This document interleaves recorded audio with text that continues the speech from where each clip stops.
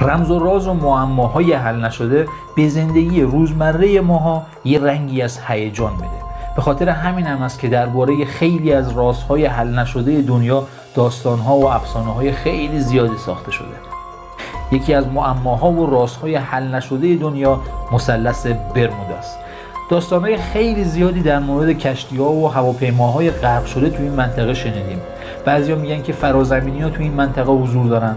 بعضیا میدان های مغناطیسی رو عامل گم شدن کشتی ها می‌دونن و بعضیا هم مثلث برمودا رو دروازه ای به جهان دیگه می‌دونن. سلام به همه واندر های دوست داشتنی. حالتون چطوره؟ امیدوارم که حالتون خوب باشه. من پیمان هستم و امروز می‌خوایم توی این ویدیو راجع به مثلث برمودا یا همون مثلث شیطان صحبت بکنیم. اینکه مثلث برمودا چیه کجا قرار گرفته چه اتفاقای اونجا افتاده و نظریه هایی که راجع به این منطقه وجود داره رو با هم دیگه بررسی کنیم. کلا دو تا مدل نظریه راجع به این منطقه هستش. یه سری نظریه علمی یه سری نظریه های فراتبی تو کامنت ها برام بنویسید که به نظرتون اتفاقاتی که تو این منطقه میفته توجیه علمی داره یا اینکه فراتبی هستش. قبل اینکه بریم سراغ ویدیو هم like comment subscribe یادتون نره. اون زنگوله بغل رو هم بزنید. دمتون گرم. خیلی دوستتون دارم. بریم سراغ ویدیو.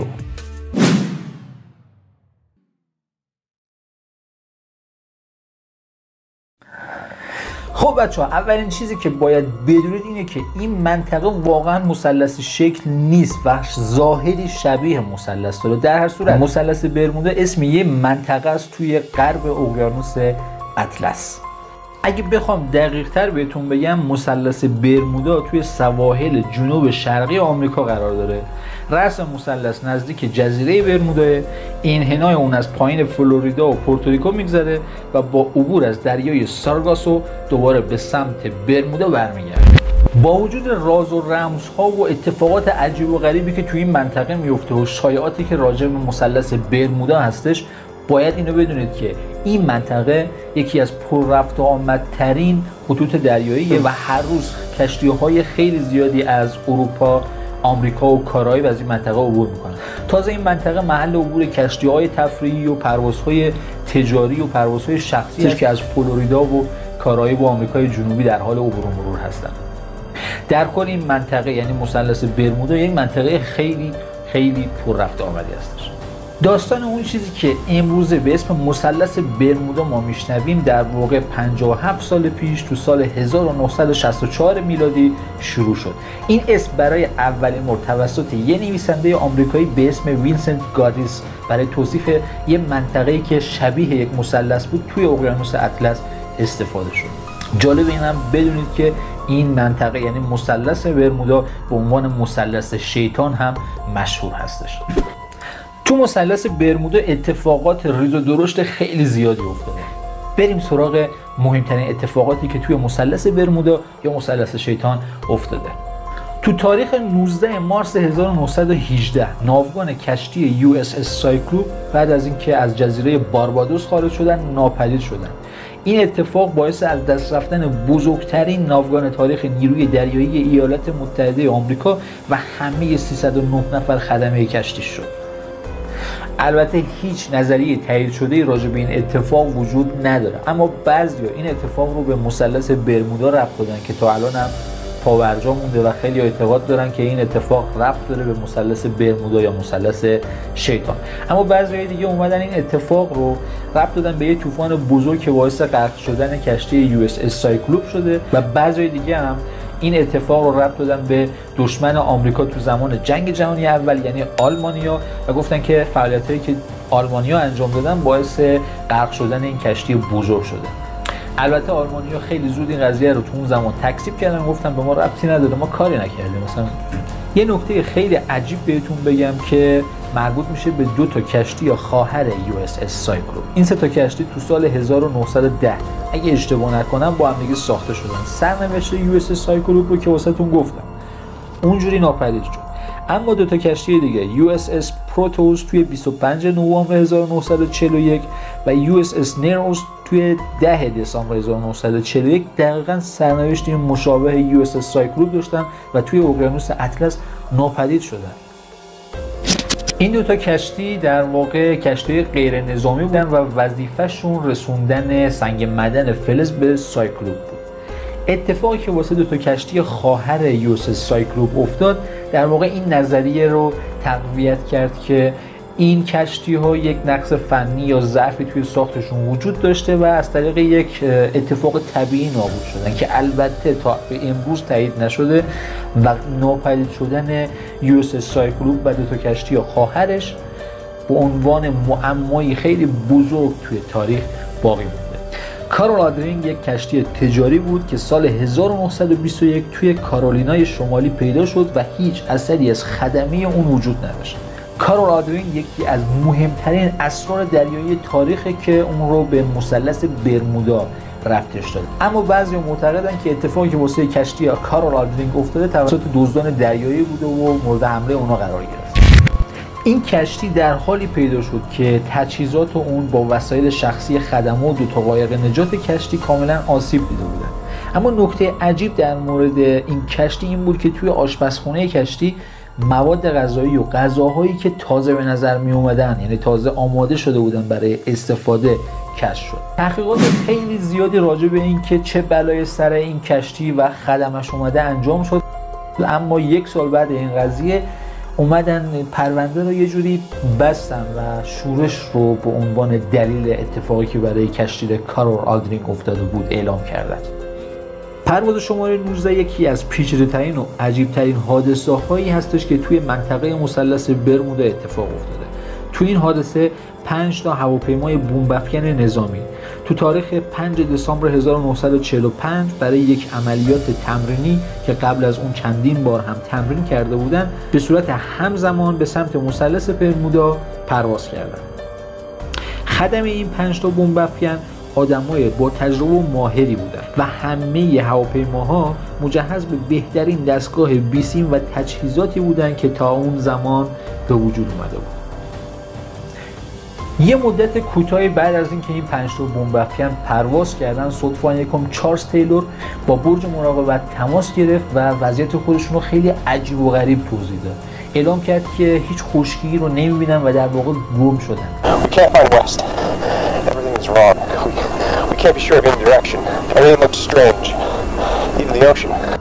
بچه اینو در نظر داشته باشید که خلبانه و خدمی این پنج تا بمب افکن آدمای خیلی با تجربه و ماهری بودن که این کار رو بارها و بارها تمرین کرده بودن. بعد این قضیه برج مراقبت از خلبانا خواست که مسیر خودشون رو 180 درجه تغییر بدن تا توی مسیر فلوریدا قرار بگیرن. اما چارلز تیلور یک بار دیگه با اونا تماس گرفت. We think we may be about 225 miles northeast of base. It looks like we're entering white water. We're completely lost. و اینو اعلام کرد که همه تجهیزاتشون از کار افتاده و در واقع اصلا نمی‌دونن کجا هستن و جهت ها رو نمی‌تونن تشخیص بدن و تنها چیزی که داره می‌بینه آبهای سفید از این پیامی که چارلز تیلور به برج مراقبت داد صدای خلبان ضعیف و ضعیفتر شد و این پنج تا هواپیما برای همیشه ناپدید شدن وضعیت اضطراری اعلام کردن و بلافاصله یک هواپیمای گشت و نجات دریایی با 13 تا سرنشین و مجهز به همه وسایل نجات رو برای پیدا کردن هواپیمای گم شده فرستادن. اما شگفت انگیز این بود که این هواپیما هم دقیقا به سرنوشت همون پنج تا بمب افکن دچار شد و برای همیشه ناپدید شد. پرواز شماره 19 یکی از عجیب ترین اتفاقاتی هستش که توی منطقه مثلث برمودا یا همون مثلث شیطان افتاده و تا همین الان هم یک معمای بزرگ باقی مونده و هیچ جوابی واسه اون وجود نداره. هواپیمای داگلاس DC 3 تو تاریخ 28 دسامبر 1948 در حالی که داشت از سان خوان پورتوریکو به سمت میامی پرواز می‌کرد ناپدید شد. هیچ اثری از این هواپیما و 32 نفر سرنشین اون تا الان پیدا نشده. فانوس دریایی ایزاک به نظر من یکی از عجیب ترین اتفاقایی هستش که به مثلث برمودا یا همون مثلث شیطان ربطش دادن. اطلاعات زیادی راجبش نتونستم پیدا کنم چه تو سایت های خارجی چه تو سایت های ایرانی. اما گفتم که براتون بگم چون خیلی جالبه. داستانش از این قراره که میگه تو سال 1969 این فانوس دریایی با اون عظمتش با دو تا نگهبانش یهو ناپدید شده و هیچ وقت پیدا نشدن. خلاصه بیشتر از 50 تا کشتی و 20 تا هواپیما تو این منطقه ناپدید شدن. قطعا خیلی از گزارش هایی که راجع به اتفاقات عجیب و غریبی که در مورد مثلث برمودا هستش اقراق‌آمیز و بزرگنماییه. اما به صورت 100 درصد هم نمی‌تونیم بچا تکذیب بکنیم بگیم هیچ اتفاق عجیب و غریبی تو این منطقه نمیفته و همه چیز طبیعی و این اتفاقا هر جایی ممکنه بیفته. تو ادامه ویدیو می‌خوام دو مدل نظری که در مورد این منطقه و اتفاقات عجیب و غریبش وجود داره رو با هم دیگه بررسی بکنیم. نظریه های علمی و نظریه های فراتوی تا آخر ویدیو با من باشید. بریم سراغ نظریه یکی از نظریه های علمی که راجع به مثلث برمودا و اتفاقات عجیب و غریبی که اونجا میفته وجود داره دست گذاشته روی این مسئله که توی این منطقه قطب مغناطیسی شمال وجود داره. همه این فرضیه ها که دست گذاشتن روی این مسئله یک پیام رو میرسونن. که تو این منطقه ناهنجاری های مغناطیسی غیرعادی وجود داره. قطنما میل مغناطیسی داره و بعضی اوقات دچار اشتباه میشه. این فرضیه ها و این نظریه ها روی این دست گذاشتن که این اختلالی که توی قطنما به وجود میاد باعث گم شدن کشتی ها و هواپیماها و بروز این حوادثی میشه که هول و مثلث برمودا وجود داره. یکی دیگه از نظریه های علمی که برای اتفاقات مثلث برمودا وجود داره در واقع جریان گلف استریم هستش که از خلیج مکزیک از طریق تنگه فلوریدا به اقیانوس اطلس جریان پیدا می‌کنه. در واقع گلف استریم یک رودخونه است تو اعماق اقیانوس اطلس که می‌تونه هر چیز شناوری رو با خودش هم کنه و جابجا بکنه. سرعت این جریان دریایی دونی متر در ثانیه برآورد شده و در واقع اومدن از این طریق این اتفاقات مثلث برمودا رو به جریان گلف استریم ربط دادن. یه نظریه علمی دیگه ای که راجع به اتفاقات مثلث برمودا وجود داره در واقع به رفتارهای عجیب آب و هوایی تو اون منطقه اشاره می‌کنه. این نظریه ها به این موضوع بیشتر اشاره می‌کنن و روی این موضوع دست می‌ذارن که طوفان های قدرتمندی که در آبهای گرمسیری تشکیل میشه باعث جان باختن هزاران نفر و خسارت های میلیارد دلاری شده. یه نظریه که اخیرا خیلی رو اون مانور دادن و سعی کردن که اتفاقات مثلث برمودا رو به اون ربط بدن در واقع وجود گاز متان تو اون آبهای منطقه مثلث برمودا هستش. استرالیا اومد یک سری آزمایش هایی رو انجام داد و ثابت کرد که گاز متان و حباب هایی که به خاطر این گاز توی آب به وجود میاد چگالی آب رو کاهش میده و این کاهش چگالی باعث میشه که این کشتی ها توی آب غرق بشن. و برای توضیح این که چرا هیچ چیزی از این کشتی های غرق شده نمیشه توی عمق آبها پیدا کرد در واقع اینا اومدن به همون جریان گلف استریمی که بهتون گفتم ربط دادن و گفتن که اون جریان گلف استریم باعث جابجا شدن لاشه کشتی و تو عمق آب میشه و اینجوریه که هیچ نشونی از این کشتی ها دیگه باقی نمیمونه. دانشمندا توی جدیدترین تحقیقاتی که توی این منطقه راجع به موجهای سرکش انجام دادن وجود پدیده به اسم گره دریایی رو اومدن مطرح کردن. اونها گره دریایی رو به سواحل فلوریدا، برمودا و پورتریکو نسبت این پدیده به خاطر برخورد سه تا طوفان بزرگ که از سه طرف به همدیگه می‌رسن ایجاد میشه. و امواجی با قدرت فرازمینی رو درست می‌کنه که خطری بزرگ برای کشتی و همچنین هواپیماها به وجود میاره بچه بریم سراغ نظریه های فراتبیعی و تخیلی که راجع به اتفاقات مثلث برمودا وجود داره. یکی از این نظریه که اتفاقا خیلی هم بهش می‌پردازن ربط دادن اتفاقات عجیب و غریب مثلث برمودا یا همون مثلث شیطان به شهر افسانه آتلانتیسه.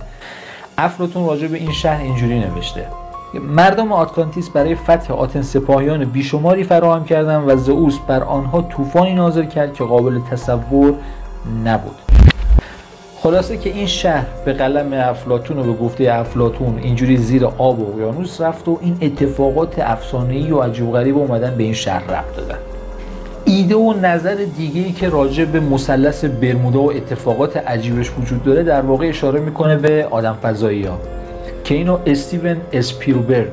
اگه اشتباه نگفته باشم. استیون اسپیلبرگ نوشته که اون رو جو به یک فیلم علمی تخیلی به اسم برخورد نزدیک از نوع سوم نوشته و اشاره می‌کنه به داستان دزدیده شدن 19 نفر توسط آدم فضایا و بیگانه ها و این نظریه در واقع این ادعا رو داره که موجودات فضایی هواپیما و کشتی ها رو میدوزدن و به سیاره خودشون می‌برن حالا برای آزمایش کردن یا هر کار دیگه همونجوری هم که اول ویدیو بهتون گفتم یه سری اعتقاد دارن که مثلث برمودا و اون منطقه در واقع یک دریچه هستش یا یک دروازه هستش که رو به یک دنیای دیگه باز میشه و این کشتی ها و هواپیما و انسان هایی که گم شدن در واقع از طریق اون دریچه به یک دنیای دیگه فرستاده شدن بچه با همه تحقیقات علمی و تحقیقات فراتبیعی که راجع به اتفاقات مثلث برمودا تا الان انجام شده دانشمندا هنوز که هنوزم نتونستن یه علت مشخص یا دلیل قانع کننده و منطقی واسه این اتفاقات پیدا بکنن. و شاید هم به این زودی کسی نتونه اصلا پرده از راز اتفاقات مثلث برمودا برداره و امیدواریم بالاخره یکی بتونه رمز این اتفاقات عجیب رو کشف کنه و ما هم ویدیوش رو شما درست بکنه و در آخر یه تشکر ویژه می‌کنم از همه شما دوستای گلم که تا این لحظه ویدیو رو نگاه کردید. امیدوارم که خوشتون اومده باشه. حال کرده باشید. و یادتون نره کانال من رو subscribe کنید. اون زنگوله بغلش رو هم بزنید. لایک و کامنت هم یادتون نره و بدونید که من خیلی دوستتون دارم. عاشقتونم. مخلصم. خدا نگهدار.